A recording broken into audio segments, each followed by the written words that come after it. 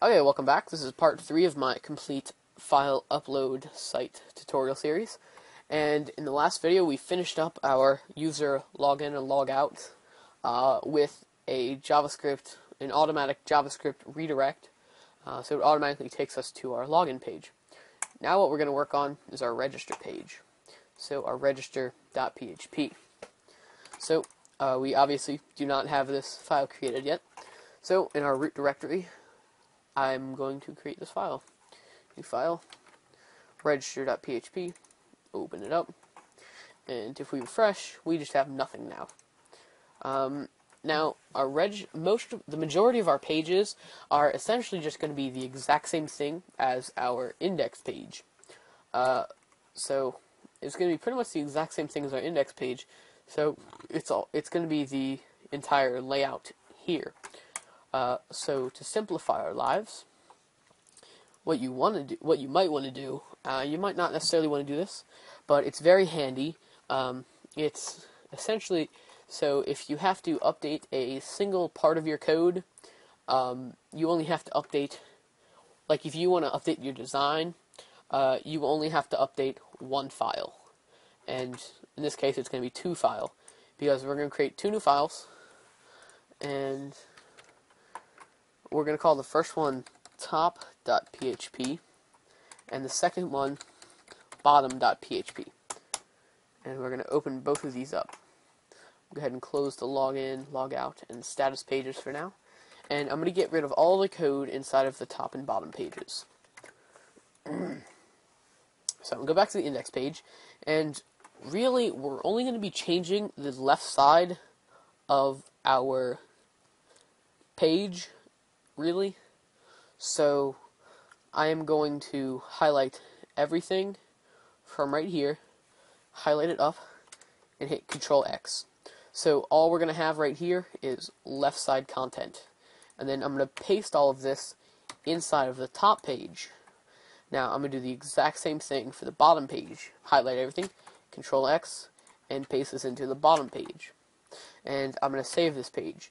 Now what we need to do is we're going to throw in two PHP code blocks, one above and one below the uh, div ID left right here, and we're going to put in require, and that's not what we want. There we go.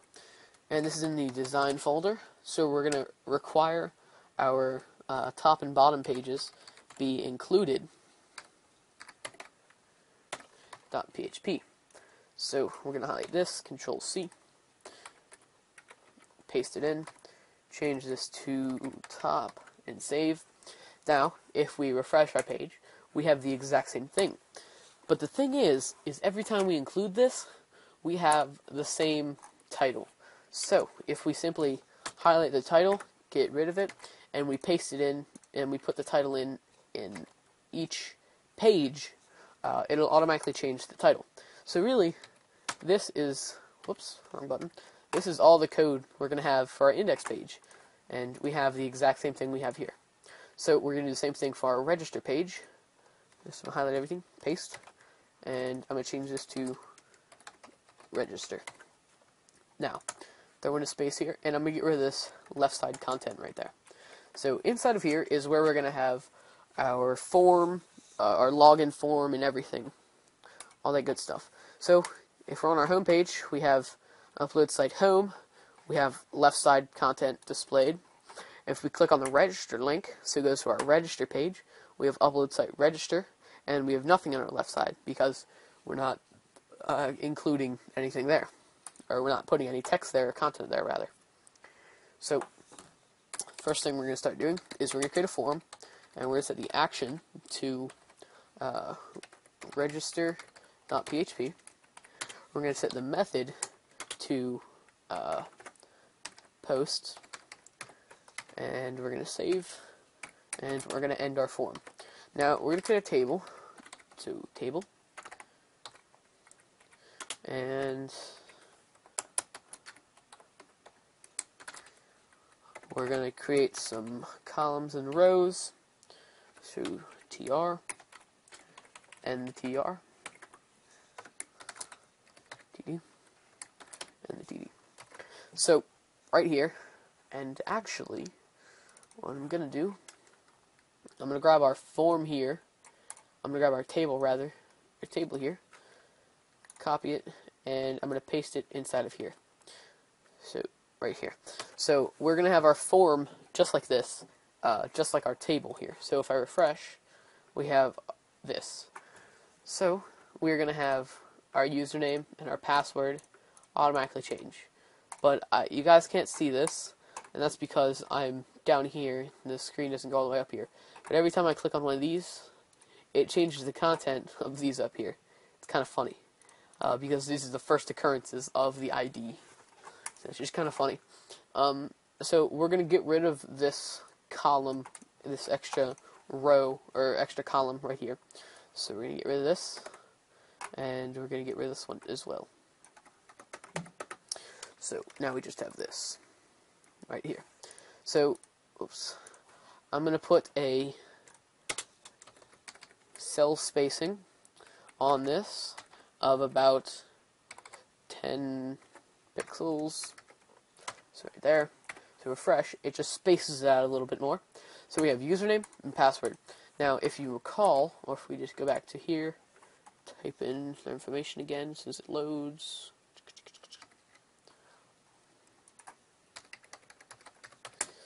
password. Alright, so once this loads, go to our users table. And right now, the only thing we have in here is ID, username, email, password, active, key, and date. Now, our active, our key, our date, and our ID are pretty much, or, our active key and date are going to be generated with PHP, and our ID is automatically generated with the MySQL database. Uh, so we only need three fields as of right now. Uh, eventually, we might change this uh, to require some more information or something, but really, uh, probably not. So I'm going to highlight the entire row, and I'm just going to paste it. So right here, we're going to have email box. The name is email. The tab index is 2, and right here the tab index will be uh, 3. The value in here will be email. Uh, the class will be text box. The on blur will be email box blur. And the on focus will be email box focus. So if we refresh our page, you see now we have username, email, and password.